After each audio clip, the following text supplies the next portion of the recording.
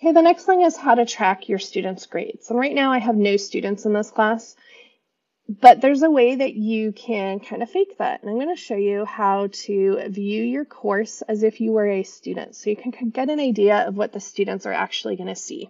So over on the right-hand side of your screen, when you're on the home page, you'll see Student View.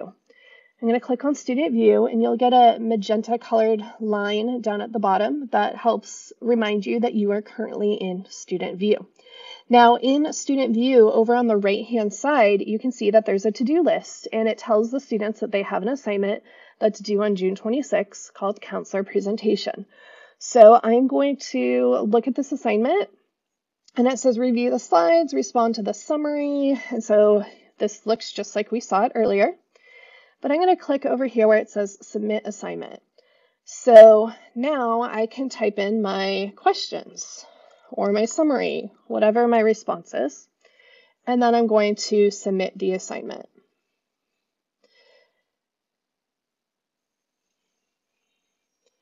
Now, this student submitted it, so they will always see a submission receipt when they turn in assignments for their classes.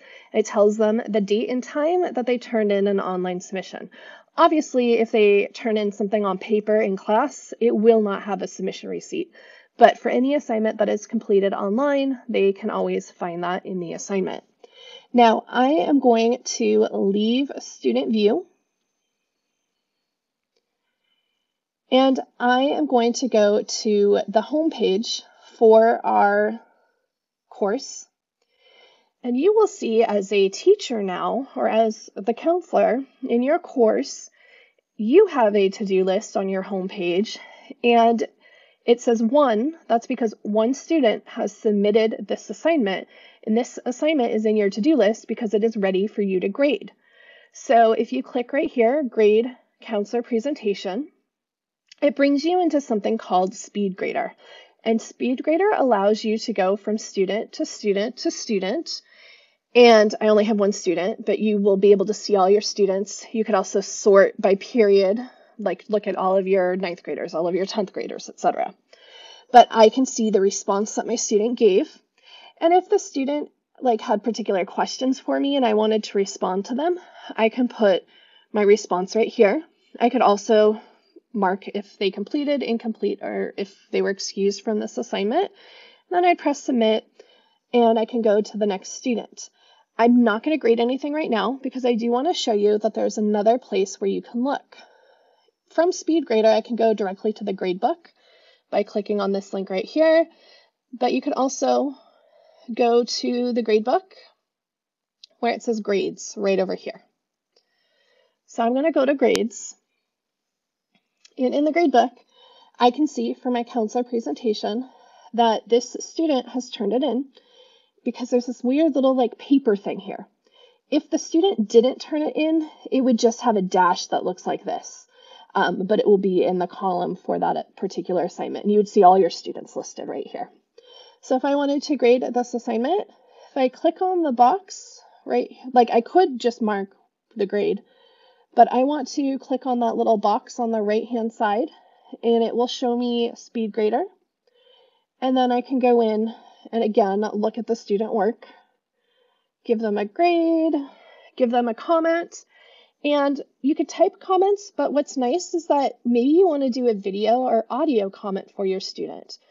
If you click right here, this is allowing you to create a video comment and create a little video like what you created on your homepage. Or if you click over here, this is speech recognition. So it will write, type text based on what you say. So I'm going to click record. Good job, Johnny. Great job on this assignment. And then I can press done and it types it for me. So that's something that you could do as well. I'm just going to delete that and I'm going to say submit. And this student now has a grade. It's complete, zero out of zero. And if I go back to the gradebook, which I can get to over here on the left from SpeedGrader, I will see that my student has a green check mark. If that student didn't have it done or turned it in and it was like awful, I can make it an X. Or if it was never turned in, it would just be this little line like that. And so if you're looking down your list, you can see which students haven't turned in work or not. And one of my favorite features about Canvas is up at the top in the assignment name cell, there's these three dots. If I click on those three dots, I have the option to message students who. So if you click on that, you can message students who haven't submitted their assignment where it hasn't been graded. So they've done it, but you haven't graded it yet. So that might be like, hey, you guys, I'm still working on this. It's coming soon. Or if they scored less than so many points or more than so many points. But it's great because if you said haven't submitted yet, you can then type a message that will go to all of the students who haven't submitted, like, hey, this is a reminder, you need to watch this college presentation.